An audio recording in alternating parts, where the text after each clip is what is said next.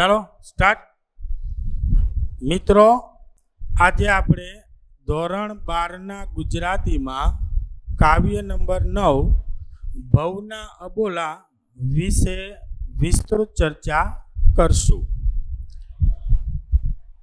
કાવ્ય નવ, ભવના અબોલા અજ્ઞાત સાહિત્ય પ્રકાર લોકગીત.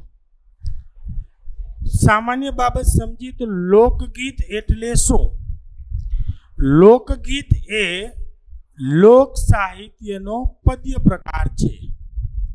લોકગીતના કોઈ કવિ હોતું નથી એટલે લોકો દ્વારા અથવા લોકોના સમૂહ દ્વારા ગવાતું ગીત એટલે લોકગીત. બીજી બાબત પરીક્ષાની અંદર આમાંથી હેતુલક્ષી પ્રશ્નો કેવા પૂછાઈ શકે? પ્રશ્ન એક, કે તમારા પાઠ્યપુસ્તકમાં આવતું લોકગીત કયું છે? તેનો જવાબ મળે ભવના અબોલા.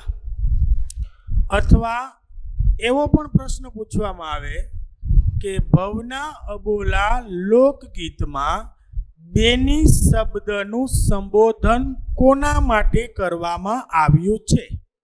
તો એનો જવાબ એવો મળે કે સમળી નામનું જે પક્ષી છે, એના માટે સંબોધન કરવામાં આવ્યું છે. ત્રીજી બાબત, એવો પણ પ્રશ્ન પૂછાય કે, દાદાએ દીકરીને શું સલાહ આપી? અને દાદા અને પિતા તરીકેની બેની સમન્વયતા બાંધવામાં આવી છે. દાદા અને પિતા બંને એવો શબ્દ પૂછવામાં આવે તો જવાબ એનો એક સરખો જ હોઈ શકે. તો એનો જવાબ એવો થાય કે દીકરીને એવી સલાહ આપી કે દીકરી દુઃખ તો બધા સહન કરી શકે નહીં, સુખ તો બધા સહન કરી શકે એવો એનો ભાવાર્થ થાય. હવે આપણે કાવ્યનો એક એક લોકગીતના કાવ્ય પંક્તિનો શબ્દ શું કહેવા માગે છે એના વિશે ચર્ચા કરીએ. સૌથી પહેલા આ લોકગીતની અંદર સાસરે ગયેલ દીકરીની દુઃખની વાત કરવામાં આવી છે. કોઈ કારણોસર તેનો પતિ તેની સાથે અબોલા છે. ભવ એટલે જીવનમાં. આજીવન, અબોલા એટલે ન બોલવું, કે એની સાથે કોઈ કારણોસર બોલતો નથી. એટલે એની પત્ની છે, એ એને મનાવે છે. પણ છતાં એનો પતિ એની સાથે બોલતો નથી. એટલા માટે એ દીકરી છે, એના દાદાને પત્ર લખે છે, કે મારી ઉપર દાદા આ રીતે દુઃખ પડે છે.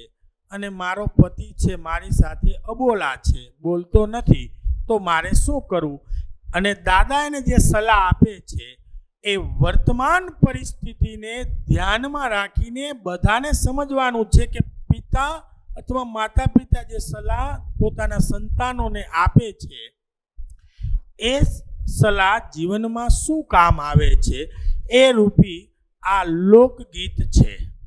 પ્રથમ કાવ્ય પંક્તિ લોકગીતની કે મેં તો ડુંગર કોરીને ઘર કર્યા, મેં તો કાચના કર્યા કમાળ, મોરી સયરું સયરું એટલે બેનપણી, અબોલા ભવરિયા એની બેનપણીને વાત કરે છે કે મેં તો ડુંગર હતો, એને ખોદી ખોદીને એમાં ઘર કર્યું, એમાં કાચના કમાળ કર્યા.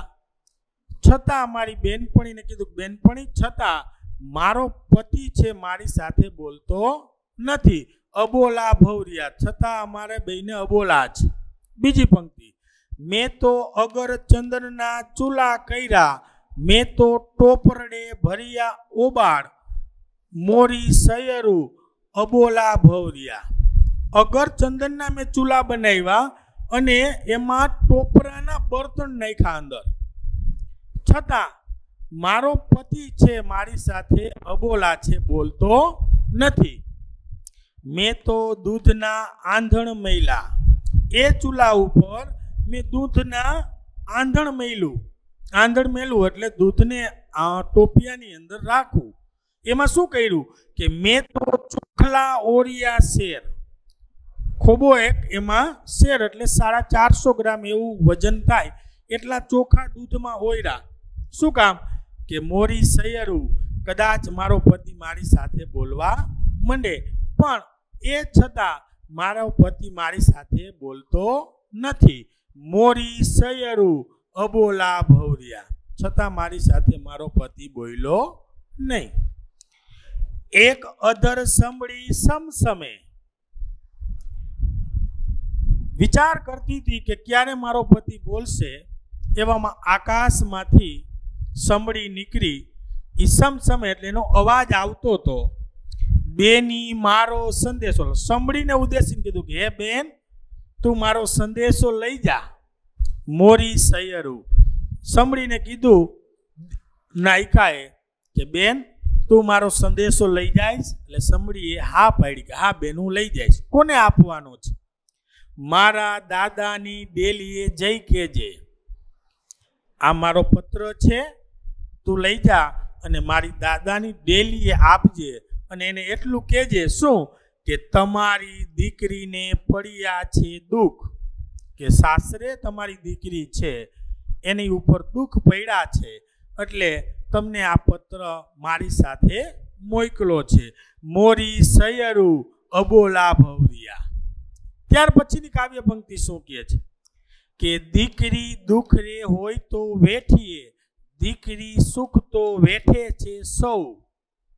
દાદાએ દીકરીને જવાબ આપ્યો કે દીકરી, દુઃખ પડે એ વેઠે ને એ જ સાચા સંસ્કાર છે. સુખ તો બધાય વેઠે, સુખ તો બધાય સહન કરશે, સુખમાં બધા મોજ શોખ કરશે. પણ જેની ઉપર દુઃખ પડે અને એ ઘરને દુઃખમાંથી બહાર કાઢે એ જ સાચા લક્ષણો છે, સાચા દીકરીના લક્ષણો છે. એટલે એના દાદાએ એ દીકરીને સાંત્વના આપતો પત્રમાં જવાબ આપ્યો કે દીકરી, દુઃખ સહન કરીને એ આપણા સંસ્કાર છે. સુખમાં તો બધા છલકી જશે, સુખમાં તો બધા મોજ કરશે, પણ સાચા સંસ્કાર એ છે કે દુઃખ છે, એ દુઃખમાં સહન કરવાની શક્તિ હોવી જોઈએ. એટલે પોતાની દીકરી દાદાને સામે એવો જવાબ મોકલે છે કે, દાદા, ખેતર હોય તો ખેડીએ. દાદા, ખેતર હોય ને તો તેમાં ખેડી, મજૂરી કરીને, એમાં મહેનત કરીને એમાંથી કંઈક પકવી શકીએ. ઓલિયા, ડુંગર, ખેડિયા કેમ જાય? ડુંગર રૂપી છે. ડુંગરને ખેડીને એમાં અમે શું કરી શકીએ? ખેતર હોય, તેમાં મહેનત કરીને જીવન ગુજરાન ચલાવી. પણ અમારી મજબૂરી એ છે કે મારો પતિ છે, મારી સાથે અબોલા છે, મારી સાથે બોલતો નથી. દાદા, કૂવો રે હોય તો ત્યાગીએ દાદા, કૂવો હોય તો એનું તર્યું માપી શકાય. ઓલિયા, સમંદર તાગિયા કેમ જાય?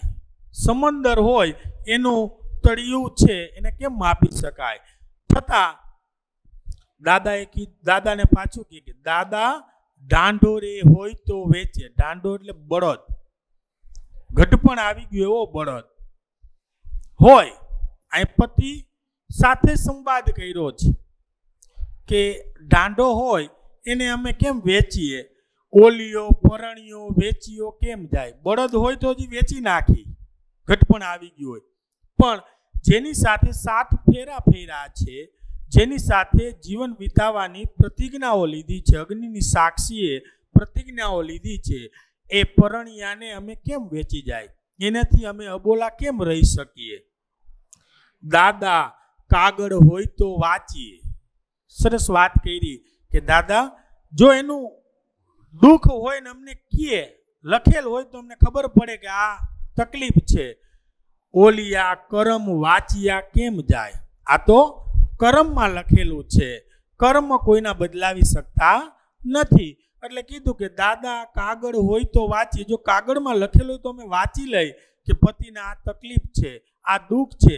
પણ અહીંયા તો કર્મમાં અમારા કર્મની અંદર આવું લખેલું, ભાગ્યમાં જ જો અમારે આવું હોય તો અમે એમાં ભાગ્ય બદલાવી શકતા નથી. મોરી સૈયરુ અબોલા ભવરિયા છતાં બેનપણીને વિનંતી કરતી કે બેનપણી બહેન, મેં આટલું કરવા છતાં મારો પતિ છે, મારી સાથે બોલતો નથી, અબોલા છે. આ ભવ ભવ ના, ભવ એટલે જિંદગી આખી કેમ હોય? એવું. પણ આ કાવ્યની અંતે દાદા છે એ દીકરીને એટલી સાંત્વના આપે છે કે દીકરી આપણા કુળ અથવા આપણા પરિવારના જે સંસ્કારો છે, એ સંસ્કારોનું તારે જતન કરવાનું છે.